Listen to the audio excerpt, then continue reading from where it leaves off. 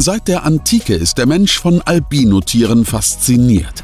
Einige Kulturen glauben, dass diese seltenen weißen Tiere heilig sind, andere hingegen halten sie für bösartig.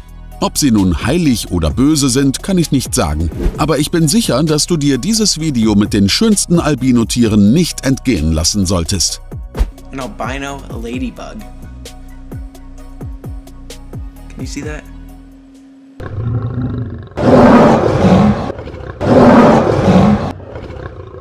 Nummer 10.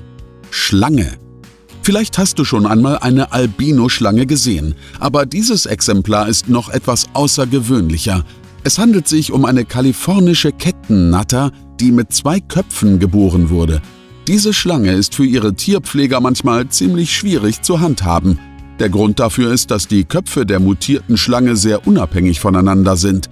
Sie denken und essen getrennt. Dies macht es ziemlich schwierig, sie zu füttern, da sie bei den Mahlzeiten nicht immer einer Meinung sind. Es kommt sogar vor, dass sie sich gegenseitig ihre Nahrung stehlen. Um dieses Problem zu lösen, müssen die Tierpfleger die Köpfe durch eine Barriere getrennt halten. Durch die Fütterung von jeweils nur einem Kopf sind beide Schlangenpersönlichkeiten zufrieden, da sie sich einen Magen teilen. Manchmal möchte ein Kopf in eine andere Richtung kriechen, was ebenfalls zu Ärger führt. Nummer 9.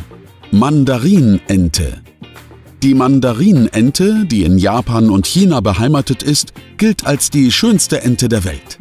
Das Männchen hat ein atemberaubendes Gefieder, welches viele Künstler seit Jahrhunderten inspiriert. Allerdings ist eine ganz weiße Mandarinente etwas sehr Seltsames. Bei Vögeln kommt Albinismus sehr selten vor. Er wird durch eine genetische Mutation verursacht, die einen Mangel an Tyrosinase bewirkt, was bedeutet, dass keine Melanine produziert werden.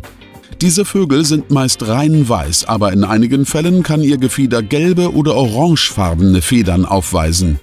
Ein echter Albinovogel wird immer rosafarbene Augen haben. Diese Färbung entsteht einzig durch die durchscheinenden Blutgefäße in seiner farblosen Iris. Ihr Sehvermögen ist schlecht, was bedeutet, dass die meisten in freier Wildbahn geborenen Albinovögel kurz nach dem Ausfliegen sterben. Diese schneeweiße Mandarinente ist demnach kein echter Albinovogel. Exemplare wie diese werden mit einer genetischen Mutation namens Leuzismus geboren. Ihre Federn sind fast vollständig weiß, Füße, Schnabel und Augen hingegen farbig. Kein echter Albino, aber dennoch ein faszinierendes Wunder der Natur. Nummer 8. Pfau. Angesichts ihrer einzigartigen Gestalt ist es verständlich, dass weiße Pfauen hoch geschätzt werden. Historisch gesehen waren sie ein Symbol für Reinheit, Ewigkeit und bedingungslose Liebe. Es stellt sich jedoch immer noch die Frage nach ihrer ungewöhnlichen Farbe werfen wir einen genaueren Blick auf den angeblichen Albino-Vogel.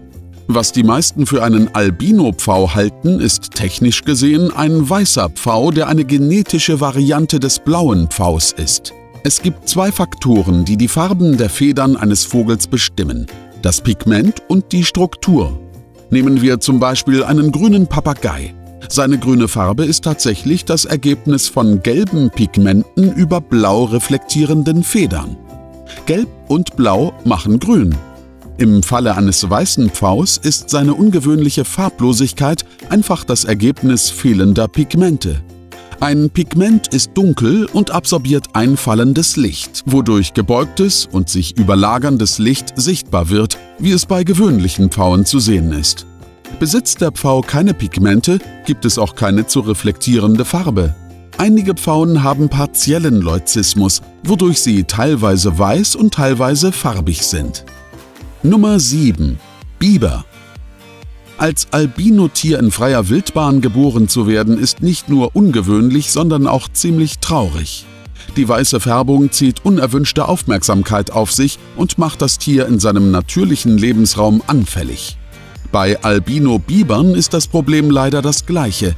Von Geburt an werden sie aus dem Wurf der Mutter ausgeschlossen, da ihre Farbe Fressfeinde anzieht. Die Chancen, dass ein solcher Biber das Erwachsenenalter erreicht, sind sehr gering. Es ist also ein Wunder, einen in freier Wildbahn zu entdecken. Paul Mikolas begegnete einem solchen Biber bei seinem Haus in Beaver Dam in den USA. Laut Mikolas war das Tier schneeweiß und riesig. Mikolas hatte in seinem Leben schon viele Biber gesehen, aber dieser versetzte ihn in Erstaunen. Im Gegensatz zu den meisten Bibern war dieser außerdem sehr zutraulich. Er schwamm direkt auf ihn zu und glücklicherweise konnte Mikolas einige Bilder von der einzigartigen Begegnung machen. Nummer 6. Kolibri. Ein leuchtender kleiner Vogel, der mich schon immer faszinierte, ist der Kolibri. Das anmutige und wunderschöne Tier steht mit seinen schillernden Farben ganz oben auf der Liste der farbenprächtigsten Vögel im Tierreich. Auf der anderen Seite des Farbspektrums steht der echte Albino-Kolibri. Sein weißes Federkleid verleiht dem Vogel eine ganz eigene Schönheit und macht ihn außerdem zu einer ausgesprochenen Seltenheit. Aufgrund der weißen Farbe ist auch er in seiner natürlichen Umgebung leicht zu erkennen, was ihn leider anfällig für Wilderer und Raubtiere macht. Obwohl der Albino-Kolibri im Vergleich zu seinen vollfarbigen Gegenstücken tatsächlich die schwächere Art ist, wird er von Wilderern als sehr wertvoll erachtet. Nummer 5. Pinguin. Pinguine gehören zu den liebenswertesten Vogelarten der Welt. Ihre unbeholfenen Bewegungen, ihre Smoking-ähnlich gefederten Mäntel und die allgemein niedliche Gestalt machen sie so bezaubernd. Stell dir also vor, wie groß die Freude war, als 2019 in einem Zoo in Polen ein Albino-Pinguin geboren wurde. Das Pinguinküken ist ganz weiß mit rosa Augen und hat keinerlei schwarze Färbung. In freier Wildbahn wäre das Küken sofort von seiner Familie verstoßen worden und aufgrund seiner auffallend weißen Farbe wäre es dann schnell Raubtieren zum Opfer gefallen. Im Danziger Zoo bleibt der Kleine vorsichtshalber mit seinen Eltern und zwei anderen netten Pinguinen in einem Gehege. Die Tierpfleger befürchten, dass das Albino-Küken von den anderen Pinguinen abgewiesen oder sogar verletzt werden könnte. Wie jedes Albinotier braucht dieses schneeweiße Pinguinbaby besondere Pflege, da es anfälliger für Krankheiten ist. Nummer 4. Marienkäfer. Hast du dich jemals gefragt, wie ein Albino-Marienkäfer aussehen würde? Wer auf dieses schöne weiße Exemplar mit schwarzen Punkten stößt, könnte denken, einen solchen entdeckt zu haben. Die Wahrheit ist jedoch, dass es sich wahrscheinlich um eine der folgenden drei Arten von Marienkäfern handelt. Der 15 Spotted Lady Beetle, dieser ist weiß mit 15 schwarzen Flecken. Dann gibt es da noch den Ashy Grey Lady Beetle, der in verschiedenen Varianten vorkommt, darunter eine schwarze Version. Und zuletzt der seltene 20-Spotted Psilobora virgintimaculata. Tut mir leid, es gibt keinen einfacheren Namen für diesen Käfer. Wenn sich ein rot-schwarzer Marienkäfer auf dir niederlässt, kannst du dir etwas wünschen, so sagt man. Das gleiche gilt für weiße Marienkäfer. Solltest du also jemals wieder einen finden, vergiss nicht, dir etwas zu wünschen. Nummer 3. Känguru. Albino-Kängurus sind in freier Wildbahn sehr selten, da sie ein leichtes Opfer für Wildhunde und Füchse sind. Laut Experten ist ihr auffälliges weißes Fell nicht das einzige Problem. Sie haben auch genetische Hör- und Sehprobleme, die es erschweren, einem Raubtier zu entkommen. Aufgrund ihrer hellen Haut sind die Tiere außerdem anfällig für Sonnenbrände. Gelegentlich wird jedoch ein Albino-Känguru in freier Wildbahn gesichtet. Dieses wunderschöne Geschöpf wurde zum Beispiel im Namatgi-Nationalpark in der Nähe von Canberra in Australien gesehen. Das schneeweiße Beuteltier ist ein östliches graues Känguru, wahrscheinlich weiblich und etwa zwei Jahre alt. Die Ranger, die das Tier entdeckten, waren überrascht, da Albino-Kängurus in freier Wildbahn fast nie das Erwachsenenalter erreichen. Dieses Känguru hebt sich wirklich von der Masse ab, um es gelinde auszudrücken. Trotzdem schien es innerhalb der Gruppe akzeptiert zu sein. Die Natur macht also auch Ausnahmen.